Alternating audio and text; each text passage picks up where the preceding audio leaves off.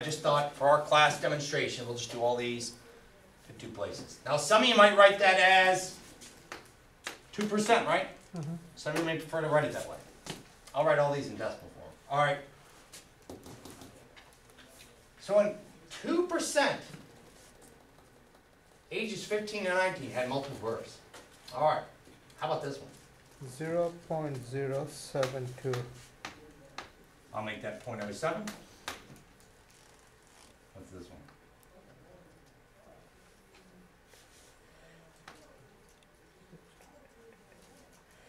Uh, zero point two five.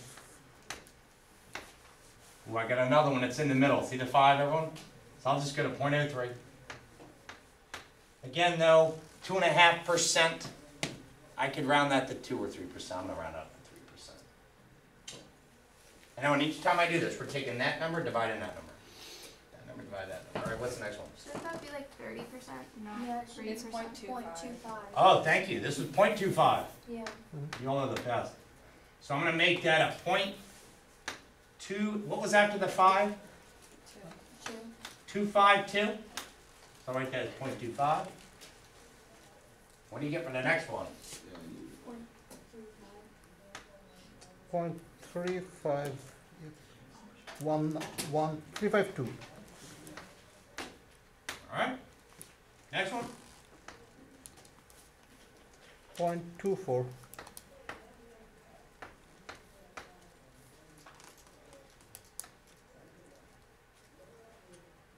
Point oh five. Point oh five, what was after the oh five? One. And lastly, another point oh two. Now, if I add all these up, and they add up to more than one hundred percent, I think I'll go back in and either this one or what does this one do? Point oh one what? Point oh one six three. You know, maybe this one I'll tweak down to one percent if it doesn't add up to one hundred percent. Alright, that's seven, that's nine, 25, 34, 69, 89, 93, 98, 100. I think we got hundred percent, right? Yeah. These sum up to 1.0. alright, we're good, I'm gonna put my smiley face. We're good to go, and there's my presentation, I'm gonna put that in my presentation. Just to Give rough estimates of what each of these percentages are. Two percent of the multiples were ages fifteen to nineteen. This is interesting, so on women, forty to forty-four, five percent? That's pretty high for women, forty, what do you think's going on there? Anybody know? I know there's nurses in this room. In vitro. Yeah, there you go. Exactly. Very good. Very good. So, these are births. This is called the probability model. So we're saying, yeah, up to thirty-five percent of those multiple births, ages thirty to thirty-four. Cool. Hey, we're now gonna get into the probability rules. And in five point two,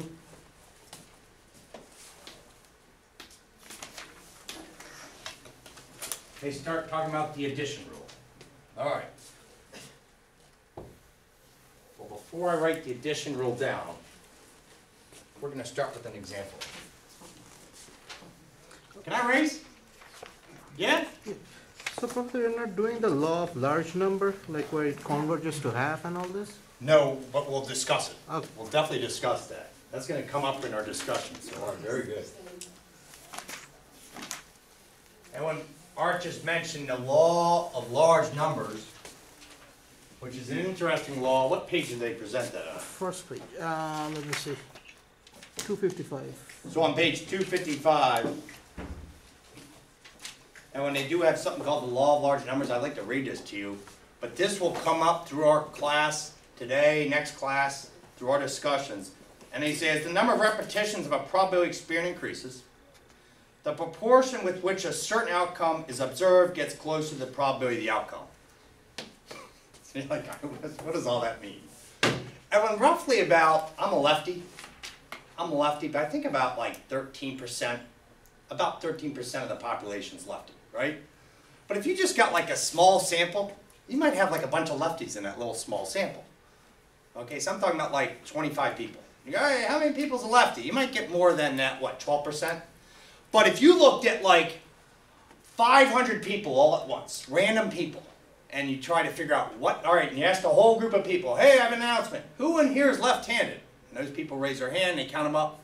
With 500 people, that percentage would be very close to what that, you know, actual proportion is, which is roughly about 12%. Cool? Hey, I'm just curious right now, because I'm a lefty. So I'm going to include myself in this bunch. Who's a lefty? All right, we're going to count them up. Me, one, two, three, four. Yeah, lefties rule. All right, we got four. Now I'm going to count up how many we got here.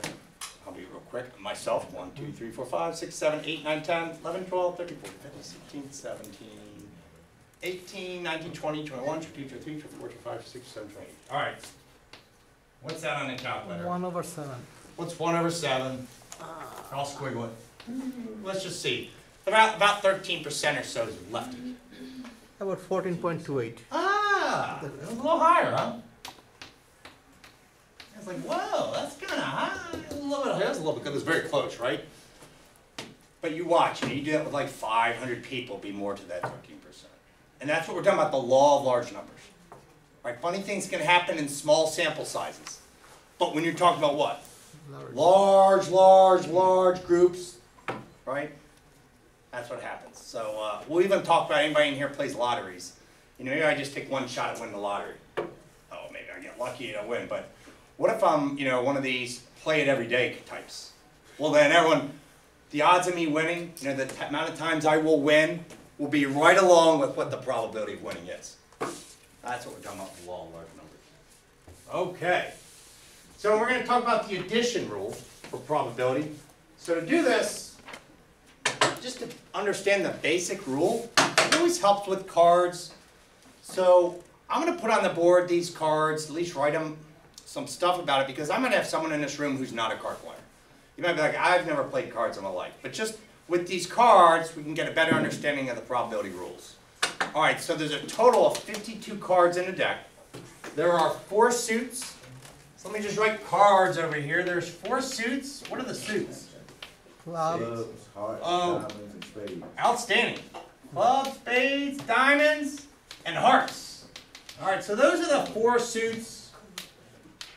If you've never played cards before, Owen, there's four suits. You got hearts, diamonds, spades, and clubs. And there's a total of 52 cards. So 52 divided 4 means there's how many clubs? thirteen. All right, so there's 13 clubs. There's 13 spades in the deck. There's 13 diamonds. There's 13 hearts. Uh, the lowest number is 2. So you got like a 2 of clubs, and a 3, then a 4, then a 5, 6, 7, 8, 9, then a 10 of clubs.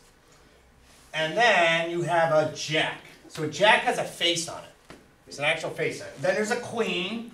The queen has a face on the card. There's a king. The king has a face on the card. Then the last one is a Ace. ace. So I'll just put A for ace.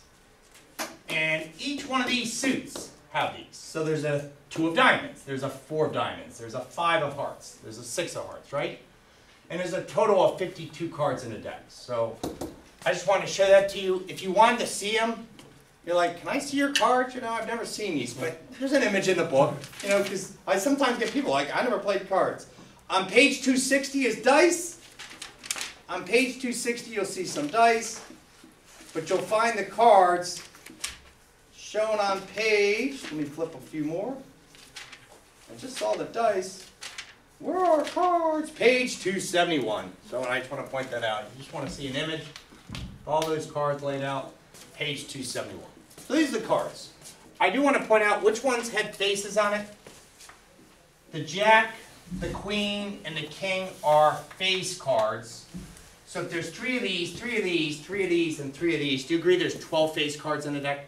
So I'm just going to point that out. That one, because the textbook might mention face card. I didn't want you to be at home doing a homework problem going, what the heck's a face card? right? So you got face cards.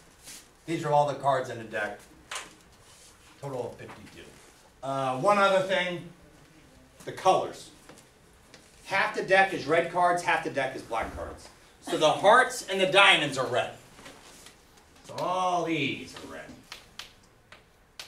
The diamonds and the hearts are the red cards, the clubs and the spades are the black cards. So Right here, between the middle. These are black cards, these are the red cards. Pulled a couple up. Oh, there's a red card, seven of diamonds. Up, three of clubs, black card. So that's what I'm talking about. They do have colors. So if we start talking about, well, what's the chance that it's a red card? Just so you know. All right, so my first question that I'm gonna ask, someone, I've got a deck of cards. The cards are random. If you're curious, you need to shuffle cards to make them random. A lot of you know how to shuffle. Uh, don't laugh, I'm terrible at shuffling cards. Stink at this. Uh, look at that. Like, pretend like I. yeah, I just shuffled them. But if you're curious, how many times should you shuffle the cards to make them totally random? The answer is seven. They actually did studies just to find out. To make them all truly random, make all these cards truly random, you should shuffle at least seven times. So if you are a card player, next time you play cards, just know that. You know, sometimes people just shuffle once or twice and they dish them back out. They're not really random. They're not really random. To get them truly random, you gotta do at least seven times. After seven times, it's meaningless. You know, it's needless. So just make sure you shuffle at least seven times. All right, so these have been shuffled. All right, the question is, I'm gonna select one card. What's the probability I select a seven from the deck? Oh, I can make it fraction, right? Mm-hmm. What's the denominator? Fifty-two. 52. Very, very good. Everyone 52 for the denominator, right? 52 possible outcomes. Now, watch me screw this up. You gotta fix this. Because I get this on test. Look. Okay, 7 out of 52. Four. That's not right, is it? Four. Let me get that out of the way. How many sevens are there in the Four. We got a seven of clubs, seven of spades, a seven of diamonds, and a seven of hearts. There are four sevens in the deck. Let me fix that. Four out of fifty-two. That's a nice answer. Although a lot of you probably want to reduce that. So you can reduce four fifty-two to be one over Thirteen. thirteen. Um, so I'm gonna take the squiggle. I'll round to two decimal places. What do you get on the calculator? Eight point zero. Oh, so, uh, uh, point zero seven six. Point zero seven six. So I could write that as point oh eight Yeah, with the squiggle. My final answer, or eight percent. eight percent. Cool. And I know we've talked about like approximate exact. These are exact. Like that's exact. But we're getting an estimation. Like hey, you got roughly an eight percent chance. So we could use any of those answers. Exactly. Okay. You know, if you do like a MyStatLab problem, they might go, well, the three decimal places. Okay, we'll write the point zero seven six. But these are great. So I'm saying, if I really did this, I'm gonna pull the card right now. What's the chances this is a seven? There's an eight percent chance. That's not good, is it? It's probably not gonna be a seven, is it? Did I win? No. I lost. What I? Jack. Oh, Jack lost. I lost. I only had an eight percent. Right? If they're truly random. All right. So now, my next one. Let's probably select a five or a nine. Now, this is a new word. So let me circle it. Or. The two words you hear with probability, or and and. Or and and. Well, here comes this word or. When you hear this word or, basically, everyone, I'm not making a rule up here, but this word or, when you hear it, you're basically adding probabilities. I mean, throw out all probability, when you hear this, what's the chances this or this occurs? What's the probability this or this occurs? I want you to think addition. I want you to think summation. I'll put the rules up eventually, but that's what we're thinking. Like in this case, I'm like, I'm gonna have to add these two probabilities. All right? And then I'll put the rule up. I'll put the rule up, but I want us to do it without it first. We're thinking addition.